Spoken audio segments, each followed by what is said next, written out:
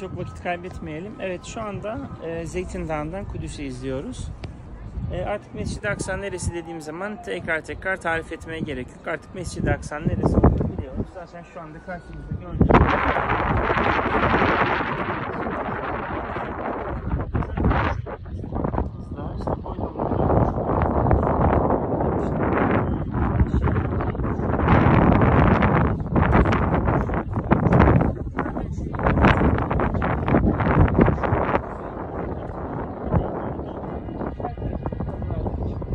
işte şey önemli. Mekanlar görmüş olduk. Burada Sahra Mescidi. Onun arka tarafında Yahudilerin ibadet ettiği ağlama duvarı, istinaf duvarı. Karşı taraf sol taraf Yahudi mahallesi. Sağ taraf arka taraf Hristiyan mahallesi. Solun daha arkası buradan çok tam gözükmese de eğimden dolayı Ermeni mahallesi. Ve Mescid-i Aksa'nın etrafıyla beraber şöyle sağ taraf kuzeye doğru Müslüman mahallesi olmak üzere Kudüs'te dört ayrı mahalle, dört ayrı bölüm var. Şu anda Zeytin Dağı'nın üzerindeyiz. Niye buraya Zeytin Dağı diyoruz? Zeytin Dağı denmesinin sebebi Tevrat kaynaklı bir e, menkıbe, bir inanış. E, Yahudi ve Hristiyanların paylaştığı, sonra da bütün dünyada yaygınlaştırdıkları meşhur bir öykü var. O öykü şöyle. E, Hazreti Nuh e, tufanda gemiyle beraber, kendisiyle beraber e, işte olan insanlarla ve işte bütün o hayvanlarla beraber yolculuk ederken e, gemideki bir güvercine diyor ki uç bakalım dünyanın farklı yerlerine bak bakalım dünyada durum nasıl? Yani dünyada sular çekilmeye başlamış mı? Tanrı'nın gazabı dinmiş mi? Hayat tekrar başlamış mı? E, güvercin e, rivayete göre havalanıyor ve dünyayı şöyle kolaçan ederken bütün dünya sular altında kaldığı için Kudüs'e geldiği zaman şu anda üzerinde bulunduğumuz e, bölgede suların çekilmeye başladığını, yavaş yavaş yeşilliklerin başladığını, büyümeye başladığını ve zeytin ağaçlarının boy verdiğini görüyor.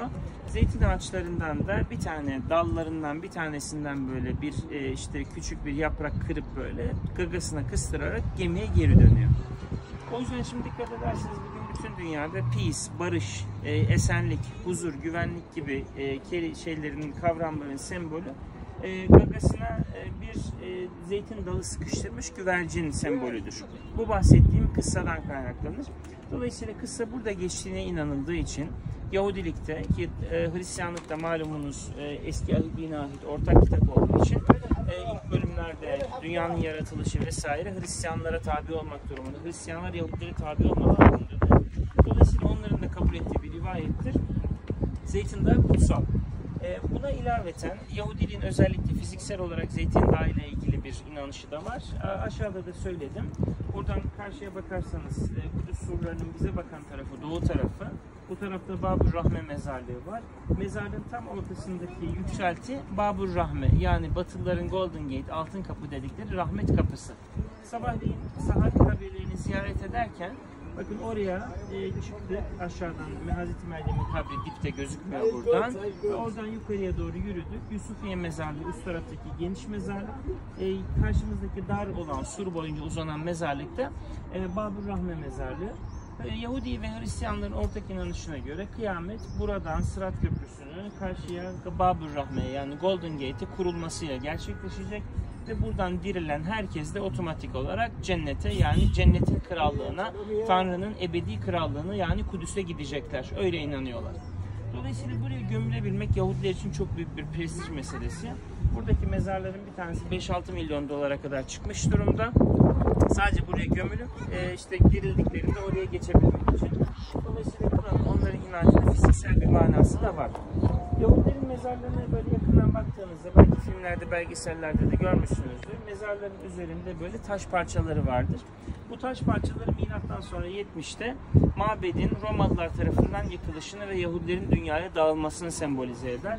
Yahudiler mezarların üzerine taş koyarlar. Evlerinin bir köşesine karanlıkta bırakırlar. Düğünlerinde bardak ya da porselen ya da cam kırarlar. Belki belgesellerde, filmlerde rastlamışsınızdır.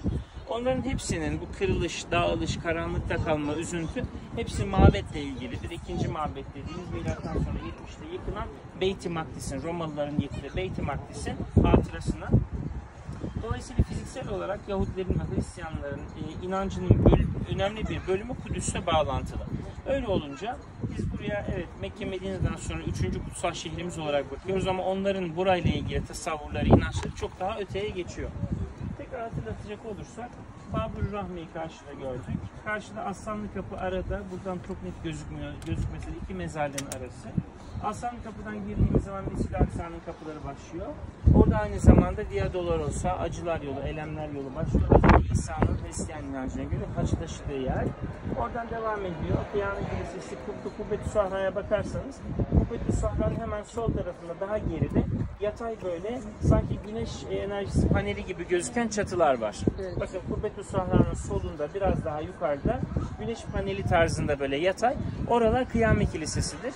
Kıyamet Kilisesi'nin bulunduğu alan zaten küçük bir kubbe var pencereli. Arkasında gri büyük bir kubbe var penceresiz. Orası Kıyamet Kilisesi. Oraları da zaten çarşamba sabahı detaylı olarak gezmiştik. Ee, üç dinin tabii mekanları burada iç içe ve birbirine çok yakın olduğu için